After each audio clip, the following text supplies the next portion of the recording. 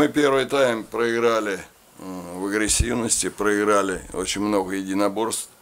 И, наверное, закономерно, что «Спартак» первый тайм выиграл. Второй тайм, на мой взгляд, э, мы не использовали свои возможности для того, чтобы сыграть ничью. Хотя на победу мы не наиграли. Э, хороший матч был, на мой взгляд, очень мощный в физическом плане. Много очень единоборств. Может быть, не столько много комбинаций было, но зато было много очень и очень борьбы. Я думаю, что футболисты отблагодарили зрителей, которые пришли на этот футбол полной самоотдачи. А, Юрий Павлович, вышли на матч в кепке и в пиджаке, пропустили мяч, сняли кепку, на второй тайм вообще без пиджака вышли. Суеверие все-таки? Да что вы реагируете на это?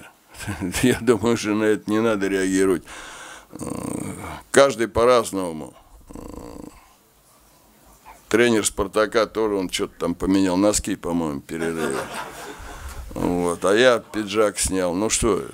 Я думаю, для болельщиков это неинтересно. Это для себя какое-то самоуспокоение, может быть. Э, Юрий Павлович, скажите, пожалуйста, с чем связана замена Александра Самедова? И оцените, пожалуйста, состояние и вообще дебюты Игоря Денисова и Игоря Портнягина. Насколько они готовы сейчас на 100%? Я думаю, готовность э, Денисова, она может значительно лучше, чем сейчас. Но достаточно такой хороший уровень, который был в тренировочной работе за эти дни, поэтому он играл в стартовом составе. То, что касается Самедова, ну, Самедова поменял, поменял по простой причине, э, что Камбаров был более активен, чем Самедов, вот и все.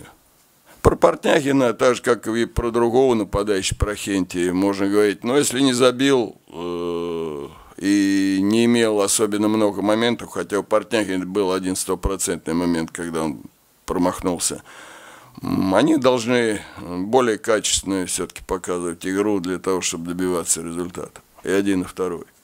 Юрий Павлович, по ходу трансляции доводилось читать много мнений ну, в соцсетях, что Локомотив мог бы сыграть более, э, больше от защиты, больше на контратаках. У вас, вы рассматривали такую возможность или изначально хотели именно свою игру показывать про такую? Мы рассматривали и игру на контратакующих действиях, мы рассматривали на, на игру, как во втором тайме, плановые атаки. Но гол не забили, гол определяет все. Поэтому сейчас, что рассматривали, говорить это бесполезно, все уже прошло. Трех очков нету. До свидания.